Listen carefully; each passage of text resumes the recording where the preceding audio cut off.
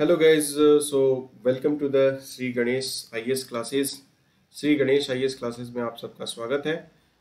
और फिर से हम अपने करंट अफेयर के सेशन की स्टार्ट करने जा रहे हैं जिसमें अपना जो टॉपिक है पंद्रह जुलाई का इसमें पहला जो टॉपिक है वो ये कहता है कि needs for changes anti defection law मतलब जो एंटी डिफेक्शन लॉ है उसमें कुछ चेंजेस लाने की बात कही जा रही है। और ये बात कहा है लीडर ऑफ़ अपोजिशन है गोवा लेजिस्लेटिव असेंबली के। वो ये कहते हैं कि वो एक प्राइवेट मेंबर रेजोल्यूशन लेके आए हैं ताकि वो सेंट्रल गवर्नमेंट को रिकमेंड कर सके कि आप एड्रेस करिए जो वेरियस इश्यूज़ हैं एंटी डिफेक्शन लॉ को लेके। मतलब तो बहुत सारे इश्यूज़ जो चल रहे हैं कि कभी एंटी डिफेक्शन लॉ ऐसा माना जाता है कि अप्लीकेबल है कि नहीं आया है। बहुत सारा ऐसा इंसिडेंट देखा गया है, कभी महाराष्ट्र की असेंबली में देखी गई है, कभी उत्तराखंड के असेंबली में देखा गया है कभी मध्य प्रदेश के असेंबली में देखा गया तो कई तरह की इस तरह की बातें होती हैं। तो ये इनका यही कहना है कि लीडर ऑफ़ अपोजिशन है जो गोवा लेजिस्लेटिव असेंबली के, उनका यही कहना है कि आप एंटी डिफेक्शन लॉ जो है ना, उसके बारे में आप उसको एड्रेस करिए जो वेरियस इशूज हैं। अब तो ये बात होगी तो अब बात ये होती कि एंटी डिफेक्शन एक्ट क्या है? देखिए, मैं आपको बताता हूँ कि होता यूँ है कि सपोज़ करिए कोई एमपी या एमएलए इसको अगर ये डिफेक्शन इसमें हो जाता है, डिफेक्टेड मतलब कहते हैं ना, डिफेक्टेड पीस है, खराब पीस हो गया है है ना? डिफेक्शन हो गया है इसमें, बीमारी लग गई है। बीमारी मतलब कि यहाँ पे इसको कोई इस तरह का डिज़ीज़ नहीं कहेंगे। डिफेक्शन का मतलब ये कहेंगे कि वो अब एमपी और MLA may be he indulge हो सकता है एंटी पार्टी एक्टिविटी में, है ना? इस तरह से इसको मतलब उसके क्या क्या उसके क्राइटेरिया है, वो मेंशन है इसमें तो M P M L A इसमें डिफेक्टेड हो जाता है। अगर डिफेक्टेड हो जाता है, अगर सपोज़ करें कि मतलब कि अगर उल्टे सीधे काम करने लगता है पार्टी के अगेंस्ट है ना? तो उस डिफेक्टेड पीस को, उसको हटाने के लिए या फिर इस तरह की काम को रोकने के लिए, उसके लिए एंटी डिफेक्शन एक एक्ट बनाया गया। जैसे होता ना, आया राम, गया राम मतलब कि सपोज़ करिए कोई M P M L A है, और सुबह वो था बीजेपी में, है ना? शाम को किसी भाई का फ़ोन आया सपोज़ करो कि एनसीपी से, शरद पवार वाली पार्टी से, और उसने डील कर लिया कि नहीं, अब तो मैं बीजेपी का मेंबर था, लेकिन मैं तो अब एनसीपी में जा रहा हूँ मिलने, है ना? वो मेरा अपना भाई है।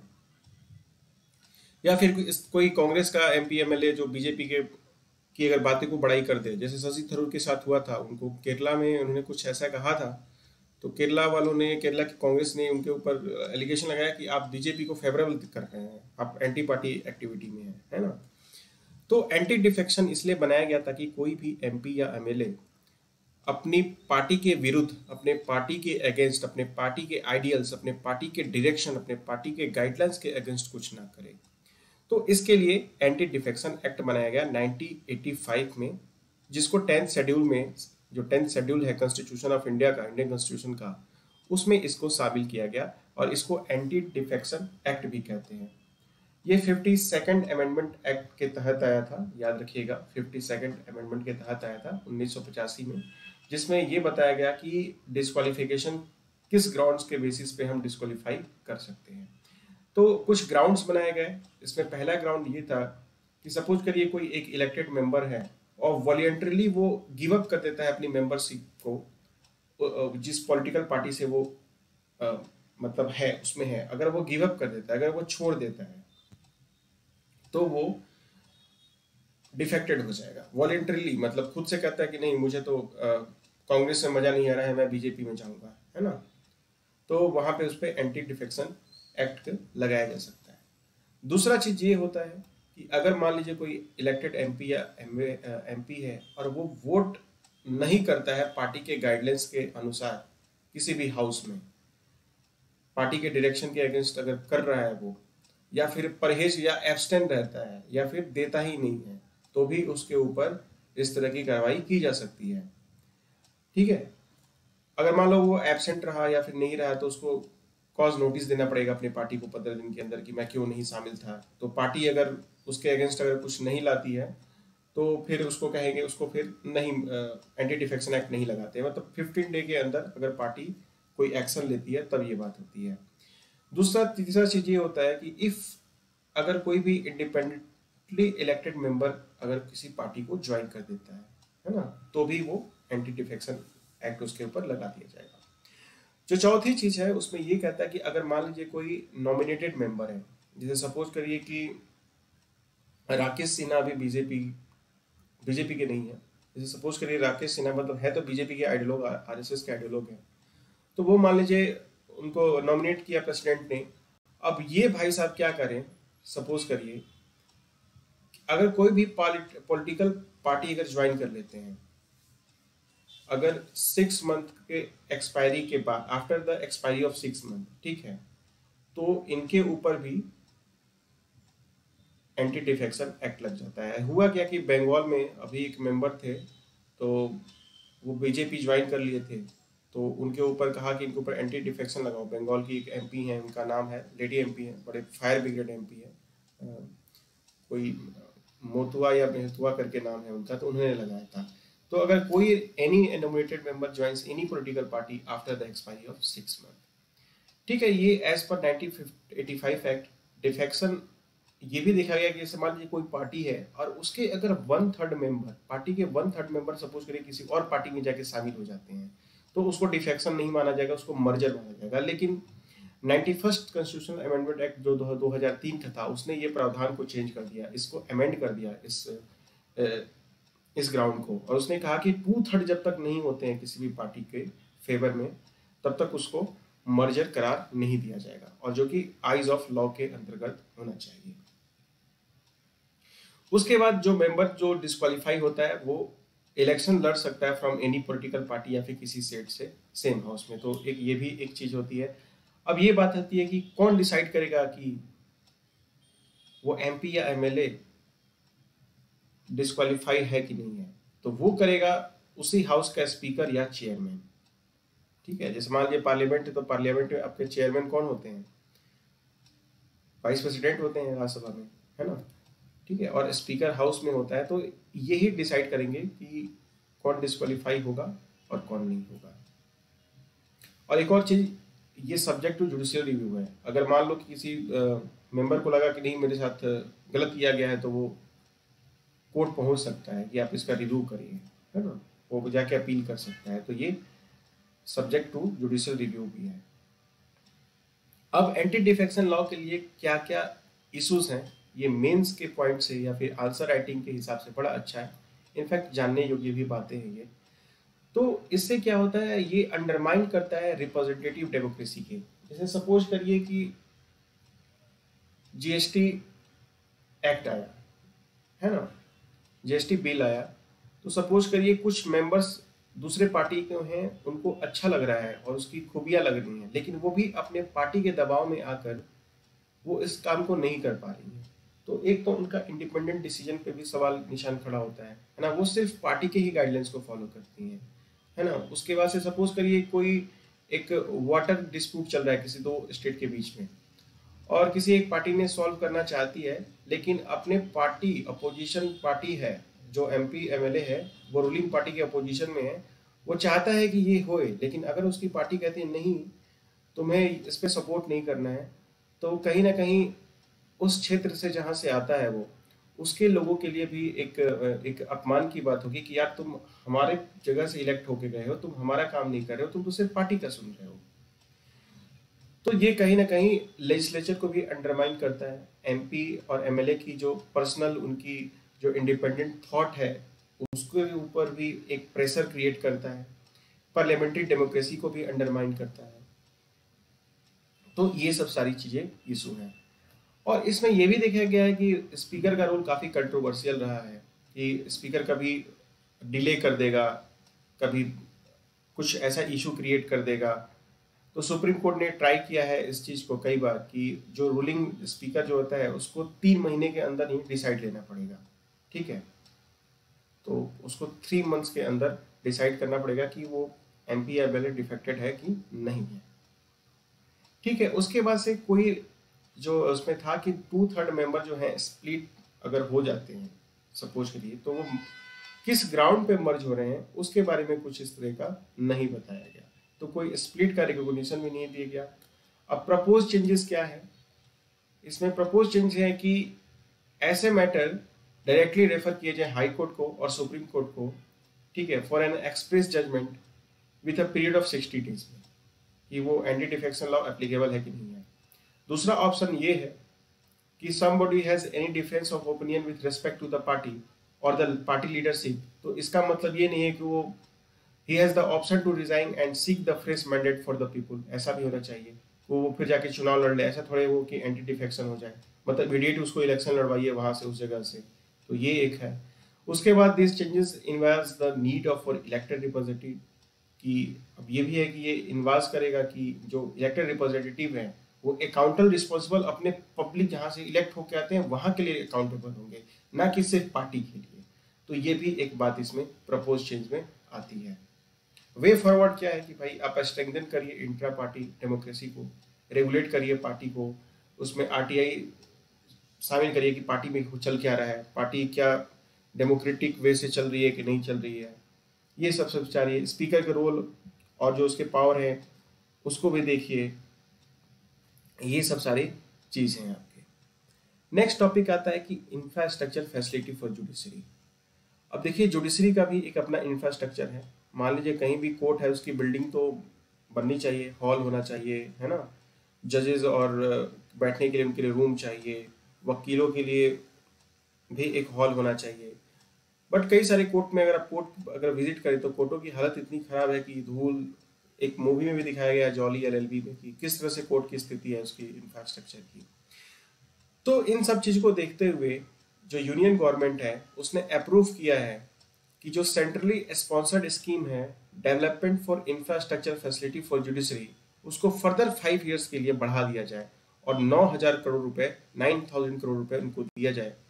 फाइव ईयर्स पीरियड यानी कि ट्वेंटी ट्वेंटी वन से और ट्वेंटी ट्वेंटी सिक्स तक। इस पीरियड को निर्धारित किया गया है फिक्स किया गया है। तो पचास करोड़ जो है इसमें ग्राम न्यायालय स्कीम के तहत दिया जाएगा, जिसमें जो कि national mission for justice delivery and legal reform में आता है, ठीक है? अब ये बात आती है, ये ध्यान रखिएगा, ये सेंट्रली स्पॉन्सर्ड स्कीम है, ठीक है? सिर्फ़ सेंट्रल सेक्टर स्कीम नहीं है मतलब कि इसमें सिक्सटी फोर्टी का रेशियो होता है सेंटर और स्टेट के बीच में। ऐसा नहीं है कि पूरा का पूरा स्टेट सेंटर देगा। जो पूरा अगर सेंटर पैसा देता है तो उसको सेंट्रल सेक्टरल स्कीम कहते हैं। तो ये याद रखिएगा। अब इसके बारे में आता है कि ये national mission for justice deliveries और लीगल रिफॉर्म क्या है? तो ये अप्रूव हुआ था यूनियन गवर्नमेंट ने 2011 में किया था, जून 2011 में। इसका ऑब्जेक्टिव था कि जो एक्सेस टू जस्टिस को खूब बढ़ाइए रिड्यूस हो जिससे केस का डिले है ना? अपने यहाँ पता है पेंडिंग केसेस कितने हैं। तो उसके, उसको खत्म करने के लिए कि जस्टिस जल्द से जल्द मिले। इनहेंस कीजिए अकाउंटेबिलिटी को स्ट्रक्चरल चेंज करके। तो ये सब सारी चीज़ें हो गई। अब ये जो सी एस एस है डेवलपमेंट इंफ्रास्ट्रक्चर के लिए जुडिशरी में, ये अभी का नहीं है 1993 और 1994 में आया था। तो इसके तहत बहुत सारे कोर्ट बने रेजिडेंशियल यूनिट्स बना district officer district officer subordinate court के ऑफिसर के लिए हॉल वगैरह भी बना टॉयलेट वगैरह भी बना, है ना? डिजिटल कंप्यूटर रूम भी बना। है उसके बाद एक अपग्रेडेड नया विकास 2.0 वेब पोर्टल तैयार किया गया। मतलब कि अब मान लीजिए कि इंफ्रास्ट्रक्चर में तो डिजिटल इंफ्रास्ट्रक्चर भी हो गया ना तो डिजिटलाइज भी करिए। अब कोविड के पीरियड में क्या हुआ कि सुप्रीम कोर्ट और हाई कोर्ट और बाकी बहुत सारे कोर्ट्स जो है, वो अब ऑनलाइन जो केस चल रहा था ऑनलाइन हेयरिंग हो रही थी। तो ये भी एक इंपॉर्टेंट एक स्टेप है। तो न्याय विकास 2.0 वेब पोर्टल को लॉन्च किया गया। जो कि मोबाइल एप्लीकेशन भी यूज़ किया गया, जिससे फ़िज़िकल और फाइनेंशियल प्रोग्रेस सीएसएस का देखा जा सके। अब एक सबसे इंपॉर्टेंट चीज़ आती है कि ये ग्राम न्यायालय क्या होता है? ग्राम न्यायालय ये होता है कि इसको विलेज कोर्ट कहते हैं। मतलब गाँव के लेवल पे ये कोर्ट होता है, जो कि ग्राम न्यायालय एक्ट 2008 के तहत आता है, जो कि एसपीडी और easy access for the justice system को रूरल एरिया ऑफ़ इंडिया में ये प्रोवाइड करता है। अब गाँव में तो बहुत सारे केस होते हैं ना। कोई खेत है, मान लीजिए, यहाँ बीच में मान लीजिए दो भाइयों का है या फिर दो पड़ोस का है। अब एक क्या करेगा? यहाँ लगेगा, यहाँ से काटने फिर दोनों में झगड़ा होगा, फिर कोर्ट में जाएँगे, फिर फैसला होते रहेगा, क्या चल रहा है, क्या नहीं चल रहा है तो वो होगा। और ये याद रखिएगा, ये जो एक्ट था सेकेंड अक्टूबर 2009 को आया गांधी जयंती के मौके पर। जुरिस्डिक्शन अब इसका क्या है? इसका जुरिस्डिक्शन जो है ग्राम न्यायालय का। ये ओवर एन एरिया होता है स्पेसिफाइड होता है, जो कि स्टेट गवर्नमेंट बताती है। और कंसुलेट करती है रेस्पेक्टिव हाईकोर्ट से हाईकोर्ट से पूछ के और स्टेट गवर्नमेंट डिसाइड करती है कि ये न्याय, ग्राम न्यायालय का जुरिस्डिक्शन कहाँ तक होगा। ये एज अ मोबाइल कोर्ट भी फ़ंक्शन करता है। जैसे मान लीजिए किसी गाँव में गया तुरंत से कोर्ट एस्टेब्लिश हुआ, एक सिस्टम तैयार किया गया टेंट वेंट लगाया गया, बस सुनवाई शुरू। ऐसा भी हो सकता है, इसलिए इसको मोबाइल कोर्ट भी कहते हैं। और याद रखिएगा, इसमें सिविलियन केस और क्रिमिनल जुडिक्शन दोनों के दोनों इसमें सुनवाई होते हैं। इसकी मॉनिटरिंग इसकी मॉनिटरिंग भी की जाती है, जो कि ग्राम न्यायालय पोर्टल से की जाती है। अब कुछ इश्यूज़ रिलेटेड है जुडिशरी इन इंडिया का। एक तो हमारा जो प्रोपोर्शन रेशियो है जज और और पब्लिक के बीच में वो बहुत कम है, ठीक है? तो रेशियो जो है आपका फिफ्टी सेवेंटी जजेस पर मिलियन पीपुल है। मतलब कि दूसरे कंट्रीज़ के। और इंडिया में बीस जजेस हैं मतलब सोचिए कितना बड़ा डिफरेंस है पर मिलियन हेड्स मतलब कि अगर मान लीजिए एक लाख लोग हैं तो सिर्फ़ पचास जज हैं वहाँ पे, दूसरे कंट्री में। और इंडिया में बीस बीस जज हैं। तो इंडिया में तो पॉपुलेशन ऐसी बढ़ा है। ठीक है तो ये जजेस की जो रेशियो है, ये बहुत कम है। फिर से पेंडेमिक में बहुत सारे कोर्ट ने फ़ंक्शन करना बंद कर दिया था। हमने वर्चुअली रोल की वर्चुअली कोर्ट तो चलाया, लेकिन टेक्नोलॉजी कहाँ है, कहाँ नहीं है, बहुत सारा एक लार्जर इशू क्रिएट हुआ था। ठीक है तो ये सब भी चीज़ें हैं। कॉलेजियम सिस्टम को भी लेके बहुत दिक्कत है। अब हम नेक्स्ट आते हैं। अपना टॉपिक है जिसका नाम है। अच्छा इसका वे फॉरवर्ड देख लेते हैं कि भाई सी एस एस स्कीम को इंक्रीज करिए वेल इक्विप कोर्ट हॉल बनाइए, है ना? कोर्ट हॉल के मॉल की तरह बनाइए कि मतलब है ना, लोगों को अच्छा लगे कि हाँ कोर्ट अच्छा है सिस्टम अच्छा है। अब यूएस का कोर्ट और सिंगापुर का कोर्ट और इंडिया का कोर्ट देख लीजिए। ठीक है रेजिडेंशियल जजेस को अच्छी रेजिडेंशियल एकोमोडेशन दीजिए, है ना? सेट करिए डिजिटल कंप्यूटर रूम्स को इम्प्रूव करिए डिजिटलाइजेशन को पेपर वर्क को रिड्यूस करिए, है ना? ये भी एक है, एक पॉइंट पेपर वर्क जितना हो सके उतना इसको रिड्यूस करिए है ना? और ऑनलाइन सिस्टम सब कुछ बने कि सारा चीज़ आप ऑनलाइन फीडिंग करें, है ना? ये सब सारा चीज़ कोर्ट में होना चाहिए। जैसे जज साहब बैठे हैं, उनको इतना बड़ा फ़ाइल लेके नहीं बैठने की ज़रूरत पड़े। वो तुरंत से मोबाइल में अपने टिक के या फिर जो भी उनको प्रोवाइड किया जाए सिस्टम उस पर टिक किए केस का स्टेटस चेक किए, और जो उनको पुनः जो जजमेंट दिया था उसको चेक किए। तो वो तुरंत से बहुत इफ़ेक्टिव होता है। तो ये सब चीज़ें हो सकती है। ग्राम न्यायालय को और स्ट्रेंथन किया जा सकता है, ज़्यादा से ज़्यादा कि ग्राम न्यायालय को और स्ट्रेंथन करिए, ताकि डोर स्टेप डिलीवरी हो। जजेस की जो नंबर है, उसको इंक्रीज किया जाए, है ना? और अगर ज़रूरत पड़े तो जिस तरह से एक यूपीएससी एग्ज़ाम रहती है सिविल सर्वेंट के लिए, वैसे भी एक तरह का एक एग्ज़ाम बनाया जाए, जो काफ़ी जिसमें यूनियन लेवल पे जजेस की भी बहाली हो। तो इस तरह का भी एक सिस्टम हमें बनाना चाहिए, ये भी हम वे फॉरवर्ड में दे सकते हैं। ठीक है? अब दृष्टि वालों ने तो नहीं दिया, लेकिन मैं अपनी तरफ़ से आपको बता दे रहा हूँ, जो कि काफ़ी कारगर है। अब आता है special live stock sector package अब लाइव स्टॉक के लिए, जो लाइव स्टॉक मतलब ये होता है, जैसे गाय, भैंस हो गई, बकरी हो गई तो या बछड़े हो गए, है ना? तो ये लाइव स्टॉक के लिए एक स्पेशल पैकेज जो सरकार रिलीज़ की है, और ये जो सीसीए है cabinet committee on economic affair इसने अप्रूव किया है कि इम्प्लीमेंट करिए आप special live stock sector package का। तो इसके कुछ की पॉइंट्स हैं। इसका मेन उद्देश्य है कि लाइव लाइव स्टॉक सेक्टर है, जिसमें एनिमल हस्बेंड्री को ज़्यादा से ज़्यादा रिमिनेटिव करो। दस करोड़ फार्मर इसमें इंगेज हैं, ठीक है? तो इसके ग्रोथ को आप मज़बूत बनाइए, ज़्यादा से ज़्यादा स्ट्रेंथन हो पैसे ज़्यादा से ज़्यादा मिले, किसानों को भी मिले, ठीक है? आर एन डी में खर्च हो लाइव स्टॉक के। है ना? लाइव स्टॉक के जो ब्रीड है, उसकी इम्प्रूवमेंट हो, इस तरह की चीज़ें मार्केट सिस्टम को स्ट्रेंथन किया जाए डेयरी सिस्टम को इम्प्रूव किया जाए। तो टोटल अमाउंट इस सेंट्रल गवर्नमेंट इस पे nine eight zero zero crore रुपए खर्च करेगी। है ना तो ये याद रखिएगा, अंठानवे सौ करोड़ रुपए खर्च करेगी लाइव स्टॉक डेवलपमेंट के लिए for the next five years यानी कि 2026 तक। ठीक है, पचपन सौ करोड़ इसमें यह भी है कि आउटसाइड से इन्वेस्टमेंट किया जाएगा इस सेक्टर में। और इसमें इंक्लूड होगा investment by state government state cooperative financial institution और एक्सटर्नल फंडिंग की अगर ज़रूरत पड़ी तो भी हम करेंगे। लेकिन हमें ऐसा करना है कि जो लाइव स्टॉक जो है, इस सेक्टर को हमें मज़बूत करना है। ठीक? अब बहुत सारी स्कीम्स को मर्ज कर दिया गया, जैसे पैकेज जो डिज़ाइन किया गया था रिवाइज किया गया रीअलाइन किया गया वेरियस कंपोनेंट्स इसके। जैसे department of animal animal husbandry and dairying scheme जो है, वो नेक्स्ट फाइव ईयर्स के लिए इसको दिया गया। ठीक है, सारे स्कीम को उसमें मर्ज दे, कर दिया गया है। जैसे डेवलपमेंट प्रोग्राम है, जैसे राष्ट्रीय गोकुल मिशन हुआ national program for dairy development हुआ लाइफ स्टॉक सेंसर्स और इंटीग्रेटेड सैंपल सर्वे हुआ। इन सबको डेवलपमेंट प्रोग्राम को, ठीक है, इसको थ्री ब्रॉड कैटेगरी में इसको डिवाइड किया गया। ठीक है डिज़ीज़ वाला जो है, उसमें एक जगह आपने कर दिया। है ना? उसके बाद इंफ्रास्ट्रक्चर को डेवलपमेंट फंड को अपने एक जगह कर दिया। तो ये सब सारी चीज़ें इसमें कुछ मर्जर की गई हैं, ठीक है? Separate separate three broad categories में उसको डिवाइड करके। ठीक है, अब इसका इम्पैक्ट ये होगा कि राष्ट्रीय गोकुल मिशन है। इस गोकुल मिशन का मेन उद्देश्य है कि जो इंडिजीनियस जो अपना देसी गाय है, ठीक है? उसको ज़्यादा से ज़्यादा आप कंजर्वेशन करिए, है ना? कहते हैं ना, देसी गाय के दूध पीने से ज़्यादा आप ज़्यादा हेल्दी रहते हैं और ज़्यादा आपको उसमें एनर्जी भी मिलती है। उसके बाद से national program for dairy development जो है स्कीम है, इसको टारगेट किया गया है कि 8900 बल्क मिल्क कूलर्स इस्टेब्लिश करो।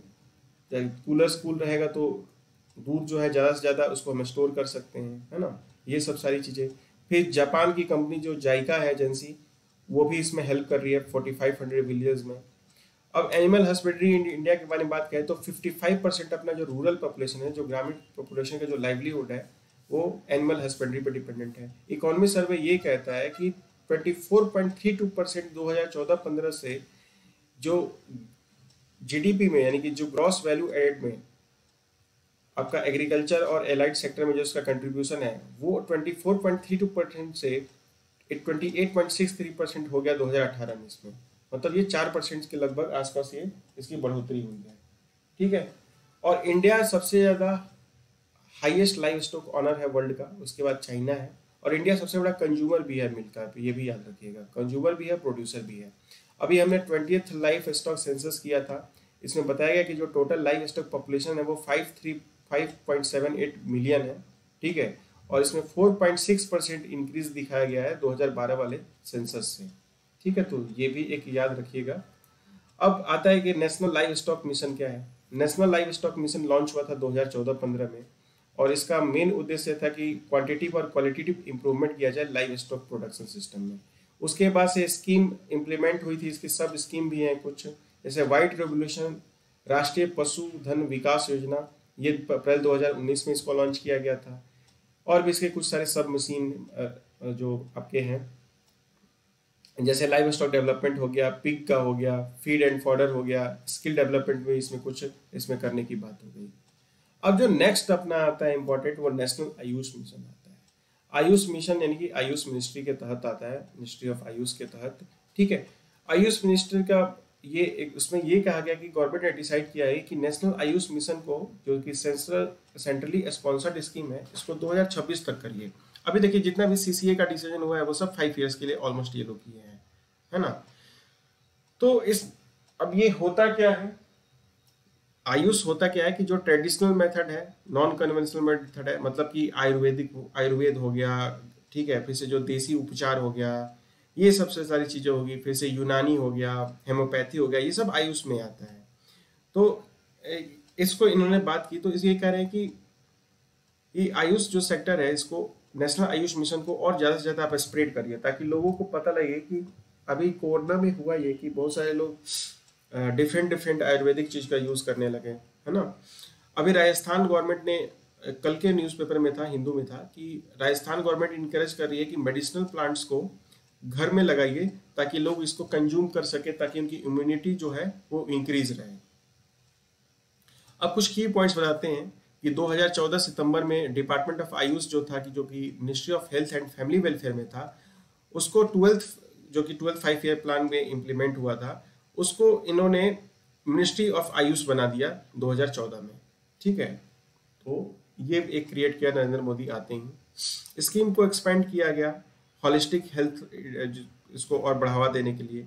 मिशन को एड्रेस करा जो भी गैप था health services through supporting the efforts of state UT इनको इनको ज़्यादा से ज़्यादा सर्विसेज़ एजुकेशन देना, है ना? फार फ्लंग एरिया में पहुंचाओ। अब आयुष मिशन के भी कुछ कंपोनेंट थे, आयुष सर्विस ये बहुत सारे कुछ फ्लेक्सिबल फ्लेक्सिबल कंपोनेंट हैं, है ना? तो आयुष सर्विस जो है, जैसे आयुष एजुकेशनल इंस्टीट्यूशन हो गया क्वालिटी कंट्रोल ऑफ़ जो आयुर्वेदा सिद्धा यूनानी होम्योपैथी इनकी हो गई। तो इसमें इतना हम नहीं जाएँगे, बस इतना जो मेन इंपॉर्टेंट है, हमने आपको बता दिया। अब देखिए इन्फ्लेशन डेटा रिलीज़ हुआ है। अब ये इन्फ्लेशन डेटा इसमें WPI इन्फ्लेशन को रिलीज़ किया गया है। अब ये WPI जो इन्फ्लेशन है, ये डिपिट करता है। D P I I T तो डिपिट जो कि ये जो रिलीज़ कर रहा है ऑफ़िस ऑफ़ इकोनॉमिक डिवाइजर ये होलसेल प्राइस इंडेक्स अभी रिलीज़ किया है। तो इसमें बताया गया है कि डब्ल्यू इंक्रीज हो गई है है ना? तो बताया गया कि जून में सबसे हाई था 12.70 परसेंट फिर 12.94 परसेंट मई में 2021 में और रिकॉर्ड हाई हुआ था। तो ये इसके बाद में बात हो रही है WPI के बारे में। तो इसका रीजन बता रहे हैं कि लो बेस इफ़ेक्ट था। अब ये बेस इफ़ेक्ट क्या होता है? ये इफ़ेक्ट होता है कि एक डिफरेंट रेफरेंस पॉइंट हम कंपेयर करते हैं दो डेटा से। इस वजह से, जैसे कोविड में ऐसा कहा गया कि महँगाई काफ़ी बढ़ गई है, अभी मिनरल्स ऑयल्स की प्राइस भी बढ़ गई है पेट्रोल की दाम बढ़ गई है डीजल की बढ़ गई है, ठीक है? तो इंक्रीज कॉस्ट हुआ है मैन्युफैक्चर प्रोडक्ट्स का लाइक बेसिक मेटल का, इस वजह से भी कह रहे हैं कि बढ़ा हुआ है है ना? फिर से रिटेल इन्फ्लेशन जो है ये भी आपका 6.26 परसेंट दो हज़ार इक्कीस में रहा है। अब इसके इम्प्लीकेशन क्या है कि अगर डब्ल्यू पी आई बढ़ेगा तो सी पी आई भी बढ़ेगा। अब देखिए डब्ल्यू पी आई होता क्या है, कुछ बास्केट ऑफ़ गुड्स लेते हैं, है ना? और इसमें ज़्यादातर जो है ना बेसिक आइटम ज़्यादा लेते हैं। मतलब इसमें सर्विसेज़ नहीं लेते हैं, और ये होलसेल प्राइस पे कुछ गुड्स को पैकेट पैकेट को लेते हैं और डिसाइड करते हैं कितना परसेंट बढ़ा। ठीक है, पिछले के मुकाबले, पिछले महीने के मुकाबले, पिछले तीन महीने के मुकाबले, पिछले साल के मुकाबले तो एक कंपैरिजन करते हैं होलसेल प्राइस का। तो अगर होलसेल प्राइस इंडेक्स बढ़ेगा तो मतलब कि सीपीआई भी बढ़ेगा, यानी कि कंज्यूमर प्राइस इंडेक्स क्योंकि जनता तो सीपीआई पे लेती है ना तो ये सारी चीज़ें हो जाती हैं। तो इसके इम्प्लीकेशन क्या होंगे? सीपीआई बढ़ेगा मॉनेटरी पॉलिसी में भी आपको चेंजेस लाने से पड़ सकते हैं, है ना? देखना पड़ेगा कि भाई आपकी जो मैक्रो इकोनॉमिक पॉलिसी है, उसको भी देखना पड़ेगा। उसके बाद होलसेल प्राइस इंडेक्स के बारे में बात करते हैं। तो वही जो मैंने आपको बताया कि ये बल्क में जो होलसेल बिज़नेस होता है उसके बारे में बात करता है। पब्लिश कौन करता है? Ministry of commerce and industry के जो डीपीट ब्रांच है वो करती है। बस ये याद रखिएगा। इसका मेजर क्रिटिसिज्म ये है कि आ, कोई भाई होलसेल प्राइस पे तो मेरे जैसा और आपके जैसा व्यक्ति तो तेल नहीं खरीदे जाएगा। वो तो जाएगा तो भाई दो लीटर लेगा तीन लीटर तेल लेगा। ऐसे थोड़ा कि दो हज़ार लीटर तेल लेने जाएगा। तो ये चीज़ बात होती है। अब बेस ईयर याद रखिएगा 2017 में 2011 बारह किया गया है। बेस ईयर अब चेंज कर दिया गया है। अगर ऑप्शन में डब्ल्यूपीआई के बारे में पूछे तो ये हम डाल देंगे। बस तीन चीज़ याद रखिएगा डब्ल्यू के बारे में। ये नहीं पूछेगा कितना परसेंट बढ़ा घटा। कौन निकलता है? तो भाई office of economic adviser office जो मिनिस्ट्री ऑफ़ कॉमर्स इंडस्ट्री में आता है, वो निकलता है। डीपिट जो है, वो इसको देखता है। है ना? और इसका बेस ईयर 2011 बारह लिया गया है। डब्ल्यू में सिर्फ़ गुड्स होते हैं। बस ये याद रखिए, इसमें सर्विसेज़ नहीं रहता है। सर्विसेज़ मतलब जैसे मोबाइल हो गया, जो मोबाइल का रिचार्ज कितना लग रहा है। एजुकेशन में कितना खर्चा लग रहा है, हॉस्पिटल में कितना खर्चा लग रहा है, ये सब सारी चीज़ें उसमें आ जाती हैं, है ना? अब आता है कंज्यूमर प्राइस इंडेक्स अगर कंज्यूमर प्राइस इंडेक्स की बात करते हैं तो ये रिटेल लेवल पे होता है जिसको जो एनएसओ है, वो रिलीज़ करता है है ना? और इसमें कम्युनिटी और सर्विसेज़ दोनों को लिया जाता है। इससे food medical care education electronics ठीक है, जो कि इंडियन कंज्यूमर बाई करता है अपने यूज़ के लिए। और इसके सेवरल सब ग्रुप भी हैं, जैसे बीवरेज का अलग है, बीड़ी पान का अलग है फ्यूल का अलग है लाइट का अलग है, ये अलग अलग तरीके से सीपीआई निकलता है आपका।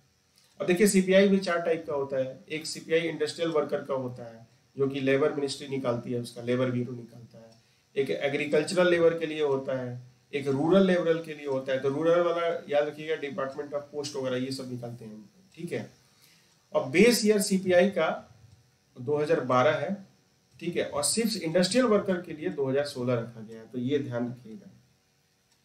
इतनी जानने की ज़रूरत नहीं है, बस बेस ईयर कितना है तो बस 2012 याद रखिएगा, बस बात है अच्छा एक चीज़ भी याद रखिएगा सीपीआई जो है सीपीआई को मोनेटरी पॉलिसी कमेटी जो है ये यूज़ करती है सीपीआई के डेटा को मॉनेटरी पॉलिसी बनाने के लिए, है ना? तो ये याद रखिएगा आरबीआई अडॉप्ट कर लिया सीपीआई को। ठीक है, अब सीपीआई वर्सेस डब्ल्यूपीआई क्या है? तो डब्ल्यूपीआई जो है सर्विसेज़ को नहीं लेता है सीपीआई लेता है। डब्ल्यूपीआई जो है इन्फ्लेशन को track at the producer level करता है और सीपीआई जो है कंज्यूमर लेवल करता है। कि जनता को कितना इन्फ्लेशन महँगाई का दिक्कत हो रहा है है ना? और डब्ल्यूपीआई तो वो तो देखेगा कि प्रोड्यूसर को कितना दिक्कत पड़ रहा है है ना? कस्टमर को तो नहीं दिखता है कंज्यूमर को। इन्फ्लेशन तो पता है इन्फ्लेशन उसको कहते हैं कि जब प्राइस राइज हो जाए किसी भी गुड्स और सर्विसेज़ की जो कि डेली कॉमन यूज़ है तो उसको हम इन्फ्लेशन कहते हैं। इन्फ्लेशन जो मेजर करता है average price through basket of commodity को देख के, है ना? तो ये सब सारी चीज़ हो गई हैं। एक होता है, याद रखिएगा, एक कोर इन्फ्लेशन होता है। और एक हेडलाइन इन्फ्लेशन एक होता है। तो हेडलाइन इन्फ्लेशन जो नॉर्मल अपना सीपीआई वाला उसमें देखते हैं। और कोर इन्फ्लेशन में क्या होता है कि फ़ूड एंड फ्यूल को हटा देते हैं, क्योंकि ये बहुत वोलाटाइल होता है। और इसमें कुछ गुड्स ही लेते हैं। तो उसको कहते हैं कोर इन्फ्लेशन ठीक है? तो ये आपका एक हो गया। अब आता है कि वाटर पॉल्यूशन डिटर्जेंट की वजह से काफ़ी बढ़ गया है है ना? डिटर्जेंट यानी कि सर्फ आप ज़्यादा जब अगर सर्फ यूज़ करेंगे तो वाटर पोल्यूशन का लेवल जो है, वो बढ़ते जा रहा है। तो ऐसा कहा गया है कि इंडिया में जो 2.7 किलोग्राम पर ईयर एक व्यक्ति डिटर्जेंट खा जाता है मतलब कि वो कंजम्पशन करता है। खाता मतलब कि कपड़े धुलने में करता है। अब जोड़ लीजिए 2.7 पॉइंट सेवन गुड़े 120 है ना? 120 करोड़ लोगों कर लीजिए तो देखिए भाई कितना हो गया। अच्छा सबसे ज़्यादा जो है फिलीपाइंस करता है और मलेशिया करता है। फिलीपाइंस करता है तीन पॉइंट और मलेशिया करता है और जो यूएस है आपका दस किलो वहाँ के लोग खा जाते हैं। सबसे बड़े पोल्यूटर तो वही है। वाटर पोल्यूशन देखिए अब क्या होता है। वाटर पोल्यूशन काफ़ी हार्मफुल सब्सटेंस होता है, जो कि केमिकली जो क्या करता है माइक्रो ऑर्गेनिज्म जो है कंटामिनेट करता है स्ट्रीम को रिवर को लेक को ओशन को, तालाब को, नदी को, सबको भाई तो करता ही अल्टीमेटली और वाटर क्या है? यूनिवर्सल सॉल्वेंट होता है। अब वाटर में कुछ भी डालोगे तो वो सॉल्यूट जो होगा वो घुलेगा। तो some causes of water pollution और भी है, जैसे सीवेज वाटर इंडस्ट्रियल वेस्टेज ये सब तो है ही है। अब साथ में आपने एक और ऐड कर दिया डिटर्जेंट का ना? तो ये भी एक बहुत पॉल्यूशन कर रहा है। अब देखिए पॉइंट सोर्स होता है और एक होता है नॉन पॉइंट सोर्स तो पॉइंट सोर्स ये कहते हैं कि व्हेन जब पॉल्यूटेंट्स डिस्चार्ज होता है स्पेसिफिक लोकेशन से, जैसे मान लीजिए पाइप से गया, किसी इंडस्ट्री का पाइप जैसे सपोज़ करिए ये इंडस्ट्री है, और इसकी पाइप लगी हुई है यहाँ से रिवर क्रॉस कर रहा है। तो ये हो गया पॉइंट सोर्स और नॉन पॉइंट सोर्स क्या होता है? जैसे मान लो कि आपने एक गिलास फेंक दिया, पानी उसमें सरफ मिला के। और बारिश हुई और वो बारिश के पानी के साथ साथ जाके वो किसी रिवर या लेक में चला गया तो ये नॉन पॉइंट सोर्स हो सकता है। या फिर आप खेत में भी, खेत से भी हो सकता है, आपके कंस्ट्रक्शन साइट से भी हो सकता है। जो एबंडन माइंस हैं या पिट्स हैं, उसके तहत ये भी एक नॉन पॉइंट सोर्स हो सकता है वाटर पोल्यूशन का। अब आते हैं कि बात करते हैं कि इतना तो हमने कर दिया, लेकिन ये डिटर्जेंट वाला क्या चक्कर तो डिटर्जेंट होता है, इसमें बहुत सारे सर्फिकेंट या मिक्सचर ऑफ़ सर्फेकेंट्स का यूज़ करते हैं। और ज़्यादातर ये क्लीनिंग के लिए यूज़ होता है, ठीक है? और ये डाइल्यूट सोल्यूशन होता है वाटर के साथ। सेम एज अ सोप होता है ये, ठीक है? अब ये क्या होता है कि सर्फ जो है सरफेस टेंशन की वजह से ये कपड़े को साफ़ कर देता है। लेकिन साफ़ तो करता है, लेकिन साथ इसके जो इम्प्योरिटी फिर से इसके जो केमिकल हैं, ठीक है? ये क्या होता है, ये अपने वाटर बॉडीज में जाके ठीक है कंटामिनेट करते हैं वाटर को। अब ज़्यादा से ज़्यादा सर्फ इसलिए यूज़ करते हैं कि सर्फ जो है हार्ड वाटर में भी काम कर जाता है है ना? जैसे मान लीजिए हार्ड वाटर जो और एक होता है फ्रेश वाटर एक प्योर फ्रेश होता है, एक हार्ड वाटर होता है। तो हार्ड वाटर में जैसे वो वहाँ भी ये काम कर जाता है। तो अब वाटर तो ज़्यादा इंडिया में अब हार्ड ही वाटर हो गया है। अब भाई साहब, अगर आप मेट्रोपॉलिटन सिटी में रह रहे हैं तो आपको फ्रेश वाटर तो सिर्फ़ वो पाइप वाला ही मिलेगा। अब ग्राउंड वाटर जाके देखिए, इतना ज़्यादा सॉल्टी आपको मिलेगा कि उसका कोई हिसाब नहीं है। अब ये डिटर्जेंट और पॉल्यूशन का इसका खेल पड़ते हैं। तो ये जो डिटर्जेंट और पॉल्यूशन का खेल ये है कि ये bio accumulation of non nonylphenol ये नॉनिलियो फेनॉल जो होता है, ये आपका एक हेजार्डस केमिकल सब्सटेंस है जो कि डिटर्जेंट में मिलता है। और ये बायो एक्यूमुलेट हो जाता है। बायो एक्यूमुलेट का मतलब ये होता है सपोज़ करिए कोई एक ये फ़िश की स्पेसीज है है ना?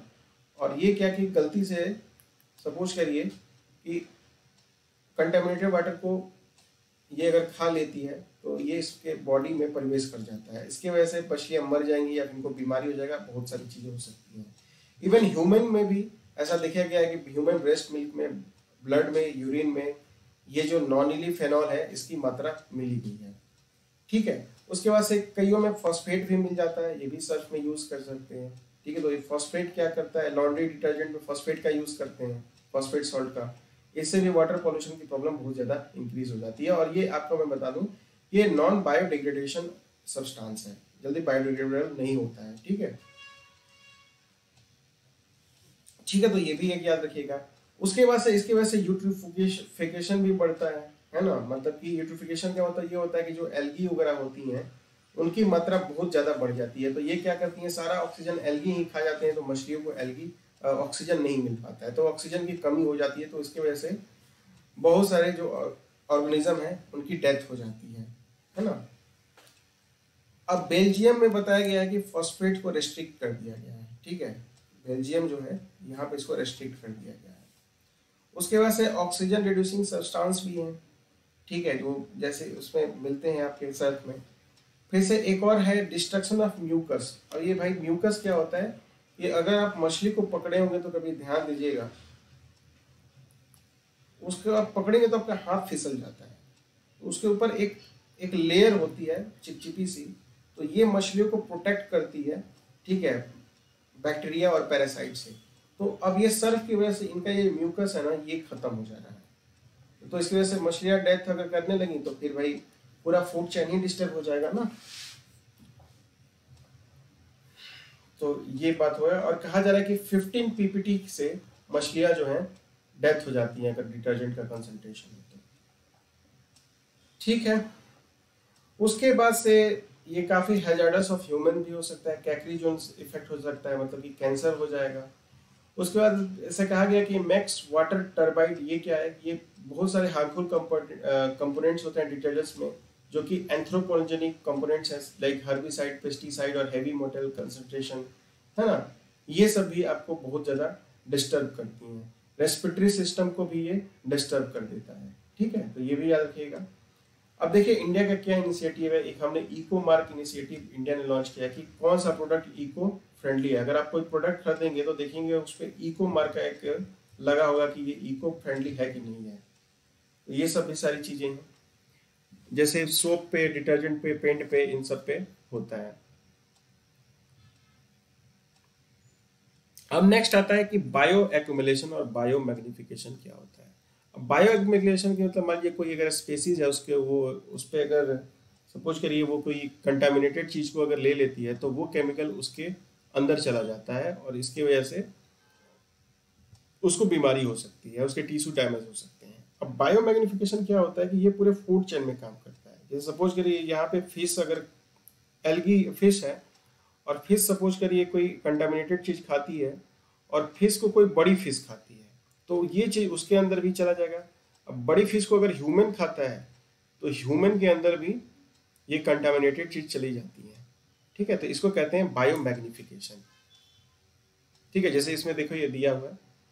ये एक छोटी फ़िश है, एक बड़ी फ़िश है, फिर ये आपका उदबिलाओ कहते हैं इसको। ये है और ये पोलर बियर है। तो और ये बढ़ते जाता है रेशियो ये भी याद रखिए कंटेमिनेशन का लेवल जैसे जैसे ऊपर जाता है, वैसे वैसे बढ़ते जाता है। मछली का इतना था, छोटा सा। फिर इसके में बढ़ा, फिर इसमें बढ़ के ये बहुत सारा बढ़ गया। अब बायो एक्यूमुलेशन में क्या होता है? ये जो कंटेमिनेशन का लेवल है, ये टाइम के हिसाब से बढ़ता है है ना? ज़्यादा खाओ, पहले खाई तो थोड़ा सा था, दूसरा फिर उसी स्पेसिस में बढ़ते ही जाता है। ठीक है? अब एक और एक स्कीम आता है। नेक्स्ट अपना करंट अफेयर का नाम इसका नाम है संकल्प से सिद्धि। इसको मिशन बंधन भी कहते हैं। तो अभी न्यूज़ में क्यों रहा है? क्योंकि जो मिनिस्ट्री ऑफ़ ट्राइबल अफेयर है, उसने रिव्यू किया है अपने इनिशिएटिव को, संकल्प से सिद्धि मिशन बंधन को, जो कि ट्रीफेड इसको देखता है। ट्रीफेड एक एजेंसी है मिनिस्ट्री ऑफ़ ट्राइबल की। ट्रीफेड का फुल फॉर्म होता है tribal cooperative marketing development federation of India TRIFED का बहुत रोल है। 1987 के एग्जिस्टेंस में आया है। इसका मेन काम है। अल्टीमेट ऑब्जेक्टिव ये है। कि सोशियो इकोनॉमिक डेवलपमेंट करिए ट्राइबल लोगों का, अपने आदिवासी भाई बंधुओं का, उनका सोशियो इकोनॉमिक डेवलपमेंट करिए। इनको मार्केटिंग में लाइए मेन स्ट्रीम करिए उनके प्रोडक्ट को, है ना? जैसे मेटल क्राफ्ट हो गया उनका टेक्सटाइल हो गया पॉटरी हो गई पेंटिंग हो गई तो आप उसको मेन स्ट्रीमिंग करिए, है ना? आप उसको मार्केट में लाइए, आप उसको ई मार्केट पर डालिए ई कॉमर्स पर डालिए, ताकि उनका इनकम जो है वो भी बड़े साथ में इनके बच्चे पढ़े लिखें और सोशियो इकोनॉमिक डेवलपमेंट भी इनका हो। और फिर ये फिर, जो ये माओवादी आके भड़का देते हैं, वो सब ये लोग करना छोड़ के अपने काम में बिज़ी हो जाए। अब ये पूछता है कि भाई संकल्प और सिद्धि है क्या? है संकल्प, सिद्धि एक इनिशिएटिव है, जो कि मिशन बंधन के अंदर आता है। और इसको सेंट्रल गवर्नमेंट ने इंट्रोड्यूस किया 2021 में तो ये याद रखिएगा, ये रिसेंट है। प्रधानमंत्री जी ने कहा कि सस्टेनेबल लाइवलीहुड ट्राइबल पॉपुलेशन के लिए ये करना है। इस मिशन के तहत ट्रीफेड जो है एम करेगा एक्सपेंड करेगा अपने ऑपरेशन को। वेरियस स्कीम को कन्वर्जन मतलब एक में मिला के और काफ़ी सारी मिनिस्ट्री और डिपार्टमेंट को लेके, ताकि ट्राइबल डेवलपमेंट प्रोग्राम एक हो ट्राइबल का डेवलपमेंट हो और इसको मिशन मोड पे लिया जाए, एक टाइम लाइन दिया जाए, एक मिशन पे लिया जाए कि हाँ हमें ये वाला प्रोडक्ट लॉन्च करना है तो करना है, ठीक है? उसके बाद से इस मिशन के तहत सेवरल वंधन विकास केंद्र बनाए जाएँगे, जहाँ की वंधन विकास केंद्र वहाँ पे सिखाया जाएगा कि भाई कैसे तुम अपने प्रोडक्ट को और इनहेंस कर सकते हो, है ना? उसके बाद से हाट बाज़ार क्यों देखा जाएगा? Mini tribe tree food units बनाई जाएगी, जैसे ट्राइबल फूड्स भी काफ़ी फ़ेमस होते हैं। कॉमन फैसिलिटी सेंटर बनाया जाएगा ट्री फ़ूड पार्क बनाया जाएगा। और जो स्फ्रूति है, जिसका नाम है scheme for fund for regeneration of traditional industry cluster इसको भी बनाया जाएगा। ट्राइबल रिटेल स्टोर बनाया जाएगा। जैसे मान लीजिए, कोई बना दिया या ट्राइबल हाट एक मान लीजिए कि दिल्ली के कनॉट प्लेस में एक ट्राइबल हाट करके एक मान लीजिए एक मॉल बना दिया, और वहाँ पे जो इंडिया के बेस्ट जो ट्राइबल प्रोडक्ट है, उनको रखा जाए। तो बहुत उसकी डिमांड भी बढ़ेगी, है ना? और मान लीजिए कोई अगर सीपी नहीं जा पाता है तो वो अमेजन पे डाल दिया तो अमेजन के प्लेटफॉर्म पे वो सीधे डालेगा ट्राइबल हार्ट तो सारे प्रोडक्ट आ जाएँगे तो वहाँ से भी वो परचेज कर सकता है। और इन सब चीज़ों की ट्रीफिट जो है ट्राइफिट है जो इम्प्लीमेंटिंग से बहुत सारे प्रोग्राम को इम्प्लीमेंट करता है, जैसे एमएसपी वगैरह को देखना, ठीक है? एमएसपी को ये जो ट्राइबल प्रोडक्ट्स हैं, उसको मैकेनिज्म वो प्रोवाइड करता है, ठीक है? फिर ट्राइफिड ऑल्सो इंजेक्ट करता है। तीन हज़ार करोड़ रुपए को ट्राइबल इकोनॉमी इंजेक्ट किया है। वंधन ट्राइबल स्टार्टअप के लिए इसने काफ़ी मदद करी है। ठीक है तो ये सब ट्राइफेड का रोल हो गया। ट्राइफेड का रोल और भी बहुत सारे इनिशिएटिव में है, जैसे वंधन विकास योजना। ये एक कंपोनेंट है एमएसपी फॉर एमएफपी का। मतलब एमएफपी क्या होता है भाई? एमएफपी बताइए क्या होता है? माइनर फ़ूड प्रोडक्ट्स ठीक है तो ये हो गया आपका।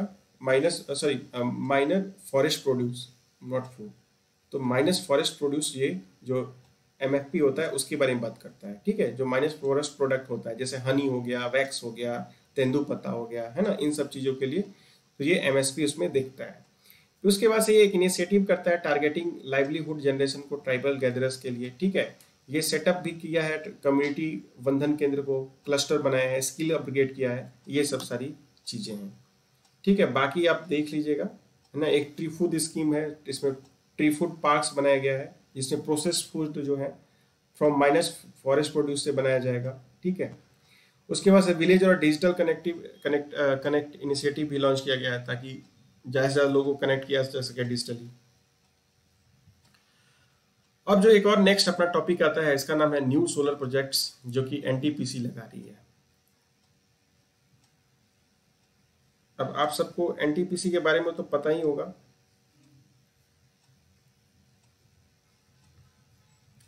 तो ये न्यूज़ में क्यों रहा है? क्योंकि रिसेंटली जो national thermal power corporation limited है रिन्यूएबल एनर्जी लिमिटेड उसने एक memorandum memorandum of MOU sign किया है लद्दाख यूटी से, कि वो कंट्री का पहला ग्रीन हाइड्रोजन मोबाइल प्रोजेक्ट वहाँ पे लॉन्च करे। तो ये बहुत इंपॉर्टेंट है।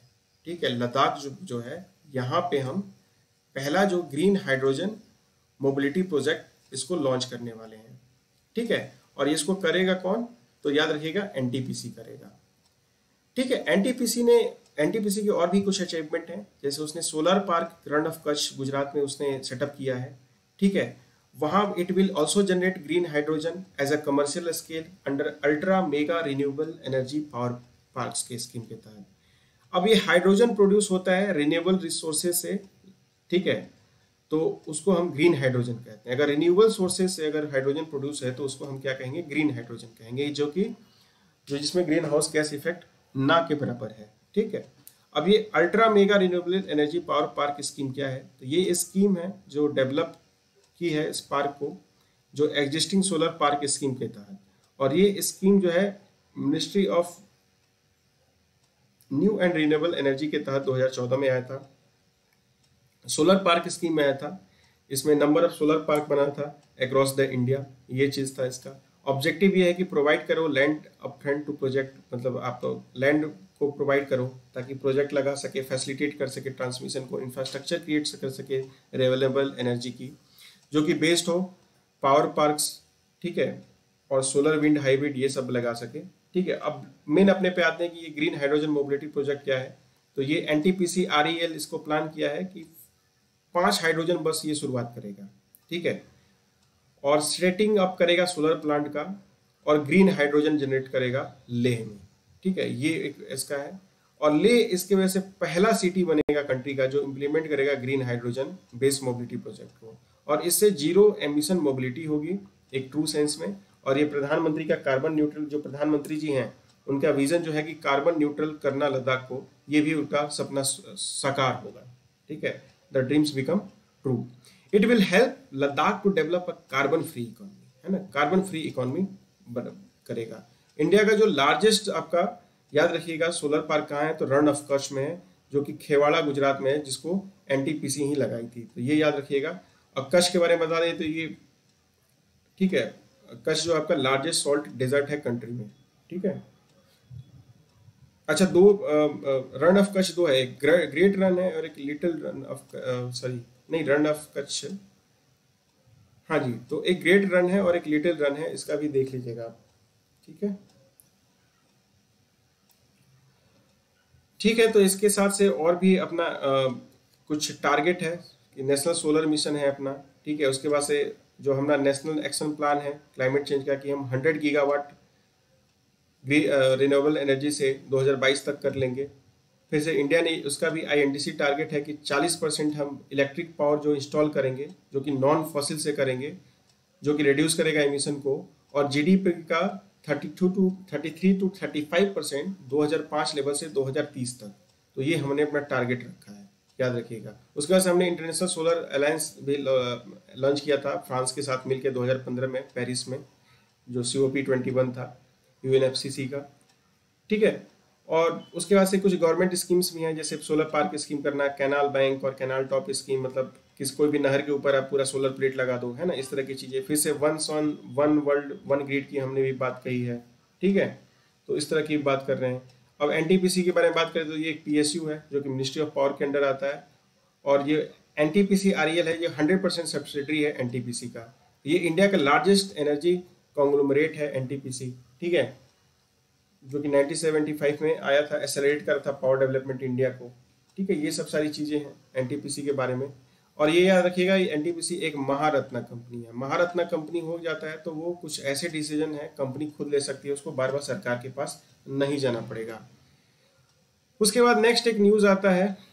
अभी अपने जो फॉरेन मिनिस्टर हैं एस जयशंकर जी, वो काफ़ी घूम घाम रहे हैं।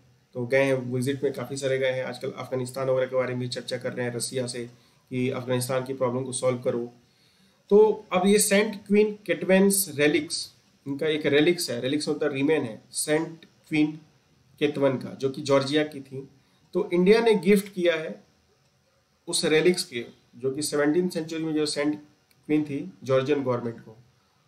और ये पहली बार मतलब ऐसा गिफ्ट किया गया है। और ये इंडियन एक्सटर्नल मिनिस्टर जब विज़िट किए हैं वहाँ पे ठीक है तो वो दिए जॉर्जिया को। और ये जॉर्जिया इंडिया के लिए काफ़ी स्ट्रेटेजिकली इंपॉर्टेंट कंट्री है क्योंकि ये ईस्टर्न यूरोप का एक पार्ट है और वेस्टर्न एशिया का ये कंट्री है। अभी हम मैप के लोकेशन में देखेंगे जॉर्जिया कहाँ है। अब ये क्वीन किटवान थे इनको कहा जाता है कि ये ये रानी थी और इनको आ, इन जो सिराज था मॉडर्न डे अभी ईरान है उनको उनको फोर्स किया कि आप इस्लाम कन्वर्ट करो, लेकिन वो नहीं कन्वर्ट की तो फिर उनको मार दिया गया। बस यही है। और इसको हमने गोवा के, उसमें चर्च में रखा गया था। आर्कियोलॉजिकल सर्वे ऑफ़ इंडिया के अंतर्गत रखा गया था इसको। ये सब देख लीजिएगा, कोई ज़्यादा खास इंपॉर्टेंट नहीं है। बस इतने याद रखिएगा कि इंडिया और जर्जिया का रिलेशनशिप क्या है आईआर में? तो इंडिया और जर्जिया का रिलेशन ये है कि हमारे, ऐसा कहा जाता है कि जो इंडिया का पंचतंत्र है जॉर्जियन के फोल्क लीजेंड्स से कहीं ना कहीं इन्फ्लुएंस करता है, ठीक है? फिर से बहुत सारे मेडिवल एज में मिशनरीज हैं ट्रेवलर्स हैं ट्रेडर्स हैं। रिसेंट विज़िट देखा गया तो ये इन्वेस्टमेंट के पर्पज से देखा गया है ईज ऑफ़ डूइंग इंडेक्स वगैरह ये सब बढ़ाने के लिए। जर्जिया भी अप्लाई कर रखा है अपने आप को यूरोपियन यूनियन में, ठीक है? और ये कैकस जो रीजन है माउंटेन रीजन उसके अंदर आता है, ठीक है? तो बस ये पॉलिटिकल सिग्निफिकेंस है जर्जिया का। अब ये देखिए भाई कॉकस जो है, ये एक माउंटेन सिस्टम है। जो कि ब्लैक सी के बीच और कास्पियन सी के बीच में है, जो कि occupy by Russia Georgia Azerbaijan Armenia अभी देखिए अजरबैन और अर्मेनिया में बहुत सारा इशू चल रहा था। अभी इनके बीच में वॉर चल रहा था। अच्छा माउंट कैगस में जो सबसे हाईएस्ट पिक है वो है आपकी माउंट एलब्रुस तो ये भी याद रखिएगा। और ये ईस्टर्न पार्ट है। जर्जिया की बात करते हैं तो ये रहा जर्जिया और यहाँ पे है रसिया आपका। और जर्जिया किन किन कंट्रीज़ से नेबरिंग है तो रसिया है टर्की है अर्मेनिया है अजरबैजान है। तो ये याद रखिएगा। ये सब सारी चीज़ें, आप, ये सब आपकी कंट्रीज़ हैं। ठीक है तो अगर इसका हम अगर शॉर्टकट बना लेते हैं तो जॉर्जिया, ऐसे कर लीजिए, जॉर्जिया। ठीक है, जी से जॉर्जिया। और अपने से एक ऐसी लिख दीजिए, जॉर्जिया की रात, है ना? तो आ से रसिया, ए से अजरबैजान, ए से अर्मेनिया और टी से टर्की। ठीक है, आप अपना भी बना सकते हैं कुछ, है ना? तारा जी भी बना, तारा जी भी बना सकते हैं। टी ए आर ए तारा जी, वो गदर वाले, या तारा जो गद्दर मूवी का, सबसे तो बेस्ट यही लग रहा है। तारा में जो तारा जो था गद्दर मूवी में, उसका भी हम नाम दे सकते हैं, ठीक है? ठीक है तो इसी के साथ अपना आज का सेशन कंप्लीट हुआ, आज का करंट अफेयर करंट अफेयर आपको कैसा लगा? अगर कोई प्रॉब्लम आ रही है, या फिर इश्यूज़ है वॉइस को लेके, या फिर समझाने के वे को लेके तो आप कमेंट प्लीज़ करिएगा। और ज़्यादा से ज़्यादा वीडियो को लाइक एंड सब्सक्राइब ज़रूर करिएगा। और शेयर करिएगा अपने दोस्तों के बीच में। तो thanks for watching the video दोस्तों। जय हिंद, जय भारत।